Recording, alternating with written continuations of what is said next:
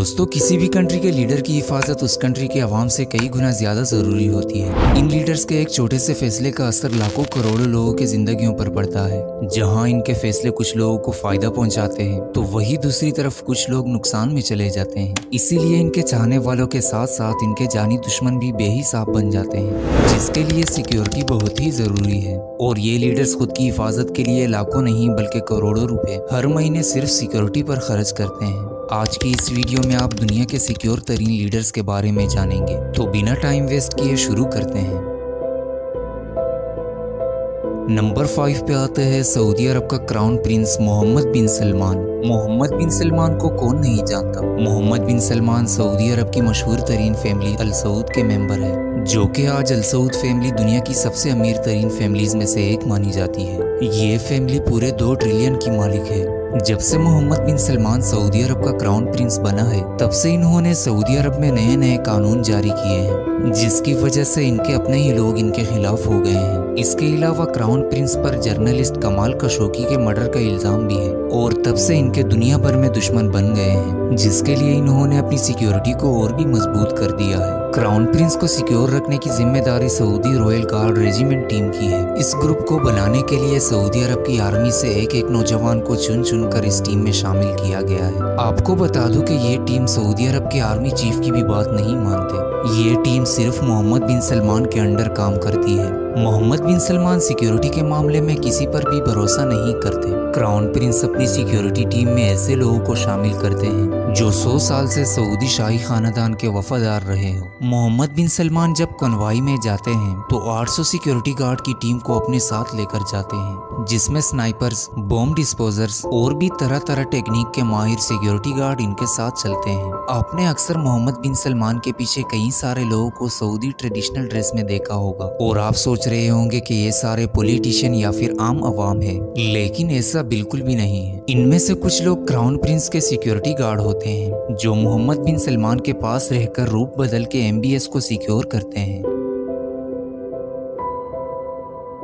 Number four पे आते हैं नॉर्थ कोरिया का dictator Kim Jong Un Mohammed bin Salman के दुनिया भर में गिने चुने दुश्मन होंगे। मगर ये बंदा मोहम्मद बिन सलमान से दो नहीं, बल्कि दस कदम आगे है। पूरी दुनिया के कुछ ही कंट्रीज़ को छोड़कर बाकी तमाम तर कंट्रीज़ के साथ इस बंदे ने दुश्मनी मोड़ ली है। आए रोज ये बंदा किसी न किसी कंट्री को एटमी हमले का धमकी देता है, जिसकी वजह से इनका इंटरनेशनल लेवल पर बेहिसाब दुश्मन बन गए हैं। किम जोंग उन ने सिर्फ़ दूसरी कंट्रीज़ के साथ दुश्मनी नहीं मोड़ी है, बल्कि कि ये बंदा अपने ही मुल्क के गरीब अवाम पर बहुत सख्त रूल्स और कानून चलाता है, जिसकी वजह से इनकी अपनी ही अवाम इनसे बहुत नफरत करती है। यही नहीं, दिसंबर 2013 में किम ने अपने सगे चाचा को फांसी पर चढ़ाया। इसके अलावा इन पे अपने भाई के कत्ल का इल्ज़ाम भी है। किम को कई ममालिक के एजेंसीज ने मारने की कोशिश भी की है, लेकिन किम अपनी मज़बूत सिक्योरिटी की वजह से किम के दुश्मन किम का कुछ भी नहीं बिगाड़ सके। किम की सिक्योरिटी में सभी सिक्योरिटी गार्ड्स, मार्शल आर्टिस्ट हैं, जो किम के आसपास आसपास किसी को भी नहीं छोड़ते। किम जिस कार में सफ़र करते हैं, वो फुली बुलेट प्रूफ और बोम प्रूफ कार है। ये कार किम को गैस और केमिकल के हमलों से भी बचाती है।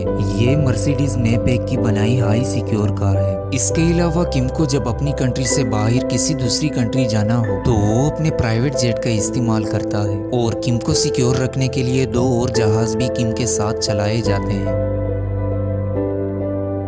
नंबर थ्री पे आते हैं नरेंद्र मोदी। दोस्तों, देखा जाए तो पीएम नरेंद्र मोदी के भी इस वक्त दुनिया भर में बेहिसाब दुश्मन मौजूद है और पीएम को सिक्योर रखने की ज़िम्मेदारी एसपीजी यानी स्पेशल प्रोटेक्शन ग्रुप की है। एसपीजी की बात करें तो इन्हें एक खास तरह की ट्रेनिंग दी जाती है। एसपीजी में किसी भी कमांडो को शामिल करने से पहले इनके बारे में और इनके फैमिली बैकग्राउंड के बारे में सभी जानकारी कलेक्ट की जाती है। एसपीजी के एजेंट अक्सर dark black colour business suit और सनग्लासेस पहनते हैं। डार्क ब्लैक सनग्लासेस पहनने की वजह यह है कि कोई भी ना समझ सके कि एजेंट किस तरफ़ देख रहा है। आपने अक्सर इनके हाथ में ये ब्रीफ केस भी देखा होगा। दरअसल ये बुलेट प्रूफ शील्ड है और किसी भी अटैक के दौरान ये शील्ड बुलेट को आसानी से रोक लेती है। इसके अलावा एसपीजी तय करती है कि पीएम को कब, कहाँ और किस कार की ज़रूरत पड़ेगी। पीएम नरेंद्र मोदी को अब ज़्यादातर इस कार में देखा जाता है, जिसका नाम है Mercedes Maybach S six five zero ये काफ़ी एडवांस सिक्योरिटी कार है। इस कार पर ए के फोर्टी सेवन की चलाई गई गोली इस कार के शीशे को क्रॉस नहीं कर सकती। एक मज़े की बात बता दूँ कि इस कार में टायर्स भी स्पेशल रन फ्लेट लगाए गए हैं, जो कि गोली लगने के बाद भी ये कार 50 से 60 किलोमीटर का फासला तय कर सकती है।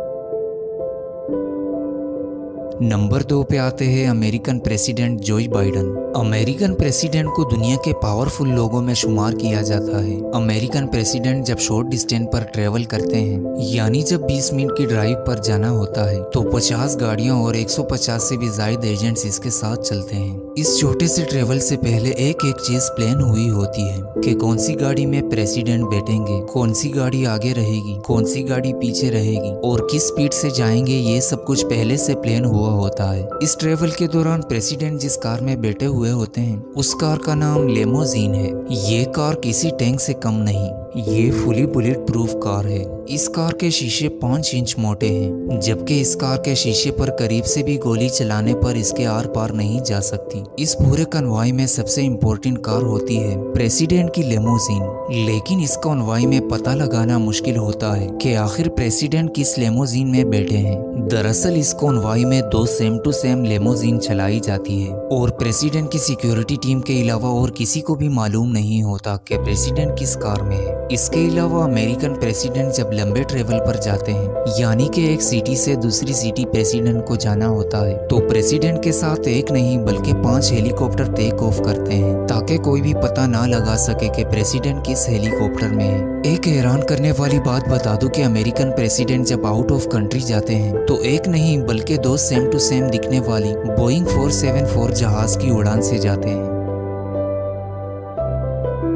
नंबर वन पे आते हैं व्लादिमिर पुतिन। व्लादिमिर पुतिन एक ऐसे लीडर हैं कि जब तक ये मरा नहीं होगा, तब तक रशिया पर दूसरा कोई हुकूमत नहीं कर सकता। क्योंकि इन्होंने ये एक नया रूल रख दिया है कि मेरे मरने के बाद ही दूसरा कोई प्रेसिडेंट बन सकता है। पुतिन के बेहिसाब दुश्मन है और इस पर कई बार अटैक भी हुए हैं।